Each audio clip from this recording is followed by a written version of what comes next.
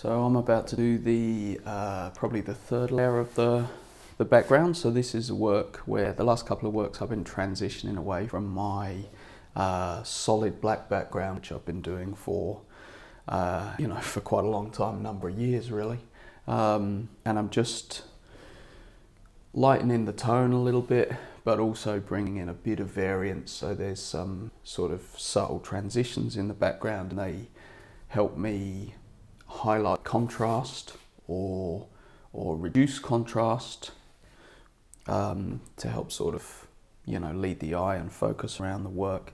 And so I blocked in uh, the black background. I've already done uh, one layer over it, and so I'm still trying to figure out the, the tonal balance. Um, I'm going to start putting some paint down uh, while I'm talking. So I've got my three uh, three tones here. Um, they're mixed with a glazing medium so that they're a bit transparent so they'll show the, the lace through. That's going to help me get some nice soft transitions with the acrylic.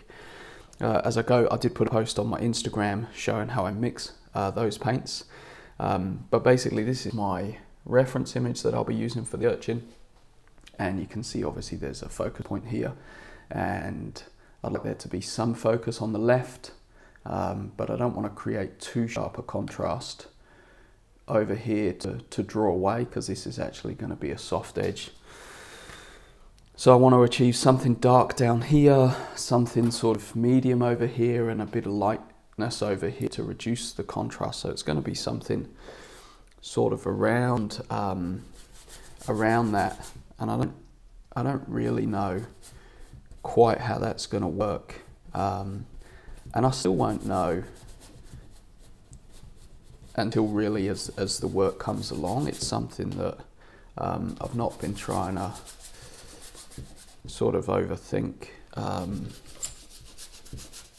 as much as I do the actual um, the actual piece and, and let it and let it progress um, you know as as the piece uh, progresses um, and so I'll still do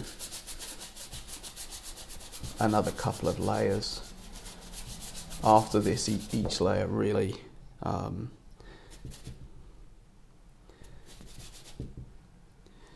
is just it's just finding that finding that balance and and mixing those tones.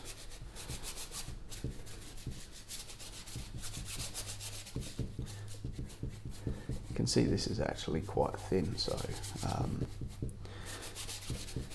actually looks a bit um, scrappy at the moment. My underpaint is a different um,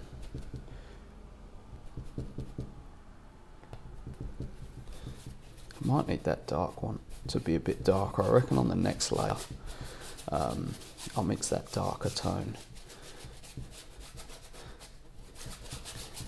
A bit darker because um, I won't really want it this dark but if it is darker I can always mix it with the lighter paint but it's nice to have it's nice to have the options. And I sort of mix this this is a, a sort of um, three tones that I mix just for the background.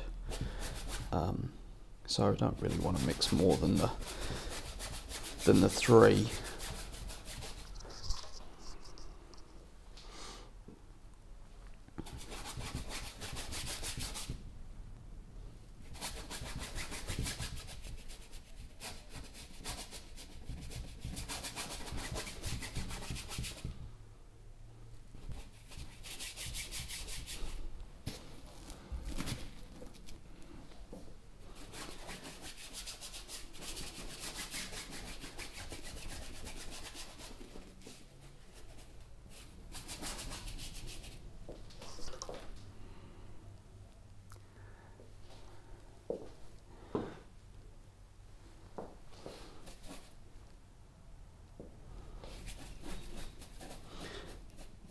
So it feels like it'll keep this same sort of tone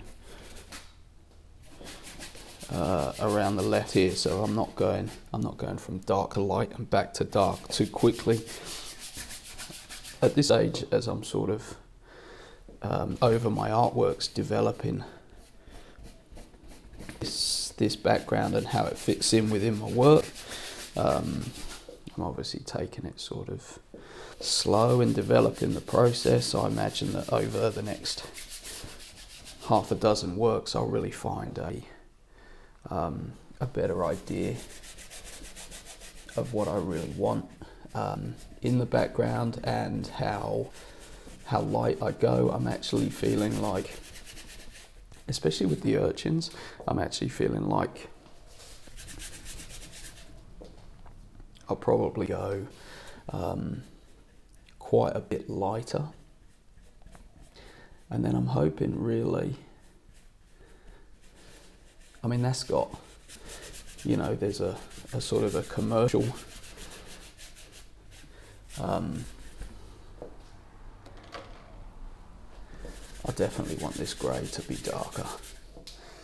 Um, it is always hard to tell because you've got that relative contrast to the tones that are already down and because I start with a because I start with a black just blocking all the tones you put over seem really light and it's not until you um, put in you know put in the tones on the subject that it really starts to come together and that's why I don't um, sort of try and figure it out too much too early but I am going to start transitioning lighter up this side. Um, and so really with the layers, what I'll do is as I'm, when I block in um, the subject, that's when I'll use my subject paint range and my background paint range and I'll wet blend those two as I do a couple of layers and that will help me soften that edge round. Um, and that'll give me a bit of a border to protect the artwork. I spend a lot of time on the artwork and I like the background to be really soft. And you can tell as I'm working, you can see that I've gone over it. So in terms of workflow with the background, I don't want to get too refined on the background because I'll almost definitely, as I'm painting, splash something. And if this is layered up over five or six layers, that's a really um, sort of layered tone with a lot of complexity in it and I can't just fix that with one dab of uh, flat paint really. So I try and develop the background as it goes. So as I'm as I'm doing the subject, as I'm painting the subject, I'll refine this bit as I start painting over here. I'm unlikely to splash something at the top. And then once I've painted the bottom, then I can refine this section. And as I move over, you know, kind of do the same. And so the background will really fine up as it goes. And so that kind of you know, is why it is why it develops um, with the background. But so what I'm thinking with the urchins is I go even lighter, and as I was saying, that sort of all right, this is my lightest tone. That sort of has a a bit of a commercial aspect to it. Like I'm not changing the work that I do, um, but obviously the works that I was doing before are quite. The background's quite heavy and it is a big solid black and I love that visual and I love that appearance. Um, but I think it definitely does affect the marketability of my work. And you know I don't I don't mind talking about that kind of stuff and I certainly don't feel like I'm selling out in any way. I always do the work that I want to do and paint the way that I want to paint but I'm more than happy to make choices within that range of what I want to do that are more in keeping with sort of, you know, the commercial value of, of the work because at the end of the day, if I don't sell work, I can't produce work.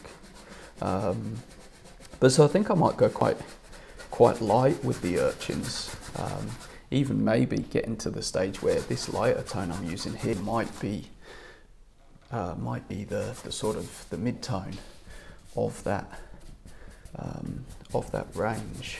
Um, and then what will happen is when I do the dark shadows on the urchin, which this one isn't really heavy on the dark shadows, but when I do those blacks, those blacks are also going to contrast against the background as are the whites, and I'm hoping that's going to lift it off the page even more. And the only thing really that I'll be sacrificing in that is when I have those dark shadows in my previous works, if you go onto my website and look at my previous works, um, the only thing that I'll be sacrificing is when I have a dark shadow in the corner and a really dark shadow on the urchin, that that dark shadow gets to creep into the urchin and, and erase the sort of edge, the outline of the urchin, and I really love that element, that that sort of dynamic is really visually pleasing to me. Um, so this is not ne necessarily a direction that I'll stick with um, forever because there are, um, you know, pluses and minuses to that that sort of creative uh, process. Um, but with the feathers that I paint, because the feathers don't have as much contrast in them, I do them a lot brighter. I imagine that um, I'll be creating a slightly different background tone with the feathers, probably more like this tone here, um, because there won't be any darks and so I don't want to go too light with the background because the whole feather's light and then it will sort of lose a bit of contrast and a bit of impact. So that's kind of, you know, kind of there, and that'll that'll come along as the as the layers uh, go in. Uh, thanks heaps for watching.